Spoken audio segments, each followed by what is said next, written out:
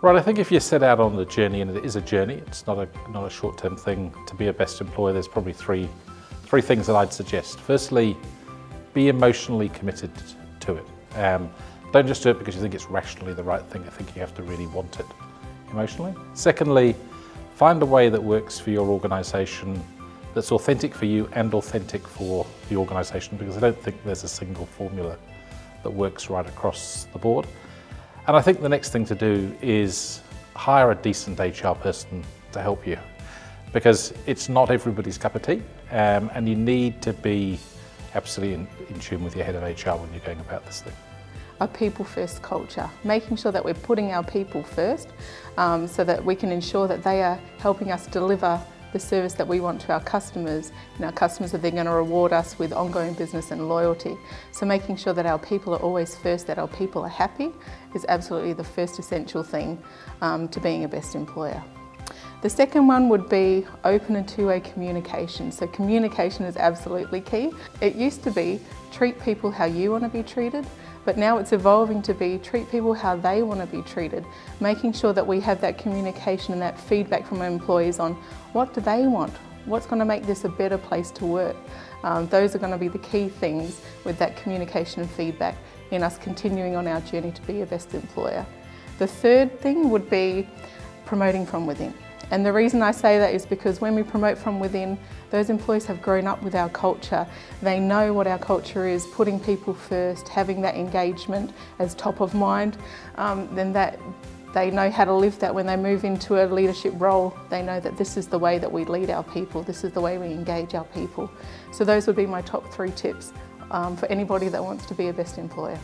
Well, I think in order to undertake uh, Best Employers as a program, I mean, I think you've got to be really genuinely committed to it. Like if you really want to get high engagement, which means you really want to help people uh, you know, voluntarily give a lot more of themselves and really commit to the organisation and really feel like they're part of something special, then it has to be a lot more than just being a, a sort of a skin deep exercise. Like you've really got to go into it very deeply and very thoroughly, think about your culture, think about the environment you want, think about the behaviours you're going to reward, really make sure you've got the right people managers, you know, weed out people that are putting, you know, holes in your bucket in terms of people that have got the wrong behaviours or aren't being transparent or aren't showing high trust, for example. And you know, it takes time and it's a journey. And I think it's something that we've been working at you know, over a number of years. And we're definitely starting to see the dividends now in terms of business results. I would say do it for the right reasons. Uh, for, for our organisation, it's all about really trying to have an engaged workforce because life's too short. 40 or 50 hours a week to come to work every day and not be happy and not be the best that you can be um, would be a pretty sad life. So we go into it with the belief that as leaders we can make a real difference to their, um, to their lives and that's important to us. We want to be in a fun and happy environment so therefore understanding that you've got to work on it you actually have to take it seriously. You've got to go in and, and use information to improve. So we entered knowing we needed to use a survey to help us know what we were good at and what we weren't so good at to really try to improve. Yeah, the things I would share about being a best employer are pretty simple actually. I think first of all you've got to start off by being really committed. If you go out there and talk about raising engagement and becoming a best employer, your, your team probably falls into two groups. There's half that believe you or want to believe you and half that don't.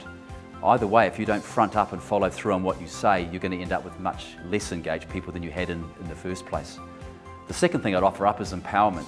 Uh, one thing we do in our model is to make sure that we get our teams to generate what makes the difference for them around engagement, and then they come back and they ask the executives, we want A, B, C, D to implement the engagement action plan for the year.